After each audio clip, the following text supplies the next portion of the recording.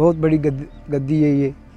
यहाँ पे लोग बहुत बड़ी, पूरे पाकिस्तान से लोग आते हैं और यहाँ शफा मिलती है, लोग आके सलाम करते हैं। यहाँ पे बाबा इश्तियाक शाह गद्दी, नशीन, इन्होंने बेटे एक इतरत बादशाह, सैयद मुशैदी और सैयद शफकत अबा शाह मुशैदी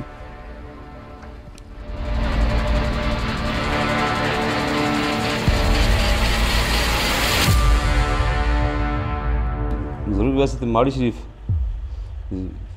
वैसे तो तकरीबन दो कुस पौने दो कुस सदियाँ हो गई जी बजुर्ग आए जी साढ़ी तो छवीं पुश चलती पी जामला शरीफ जी, जी, जी, दुआ जी मौजूद पाक सरकार दी जारी शरीफ तो बजुर्गां जाते उस टाइम बजुर्गां भी दुआ दी थी नाल फिर सत्त पुश दी दुआ दी ने इस वजह तो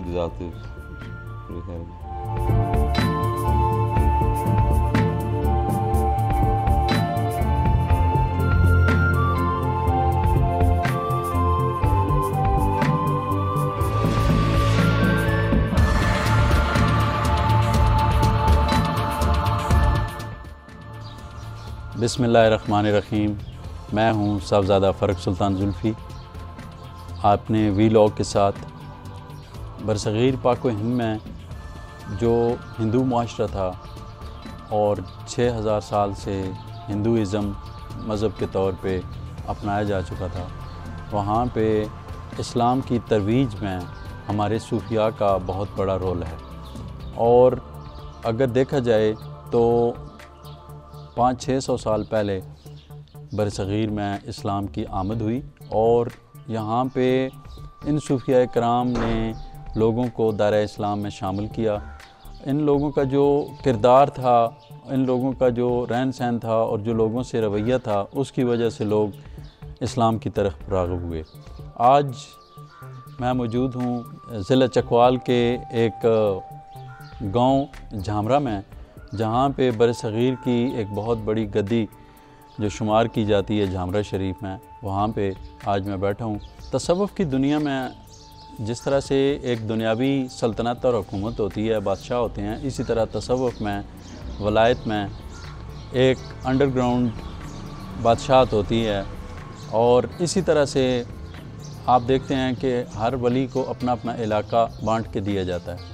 तो इस इलाका में बाबा दीदार शाह साहब सबसे पहले यहाँ पे आए और उन्होंने अपने मुरीदान से रबता किया और फिर लोग दार इस्लाम में शामिल हुए और लोग आते हैं, अपनी अपनी मुरादें लेके आते हैं और उनकी मुरादें अल्लाह के फजल करम से और इनकी दुआ से पूरी होती हैं। और यहाँ पर सालाना उर्स भी मनाया जाता है। इसके अलावा बहुत सी मखसूसियाँ और बहुत से यहाँ पे प्रोग्राम्स होते रहते हैं। तो इस हवाले से ये है कि ये जो धरती है झामरा शरीफ की, ये पीरों और फ़कीरों की धरती है।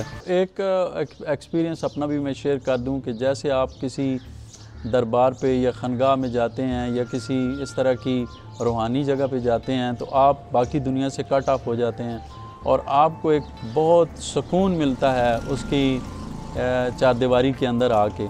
तो किसी भी आप दरबार पे चले जाएँ तो आपको एक सुकून मिलेगा। और यहाँ आकर आप, मैं ऐसे फील कर रहा हूँ कि मुझे एक दिली सुकून महसूस हुआ है।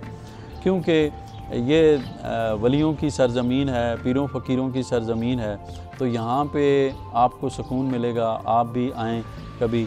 तो इसके आने के लिए आप मोटरवे से जब निकलते हैं, लाहौर से आ रहे हों तो कलर कार से आउट होंगे और इस्लामाबाद से आ रहे हों तो कलर कार से ही आपने निकलना है।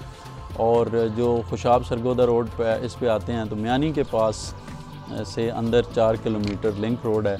यहाँ पे आप आके तो शरफ़ हासिल कर सकते हैं, इस दरबार पे हाज़िरी दे सकते हैं और अपनी मुरादें जो हैं वो मांग सकते हैं।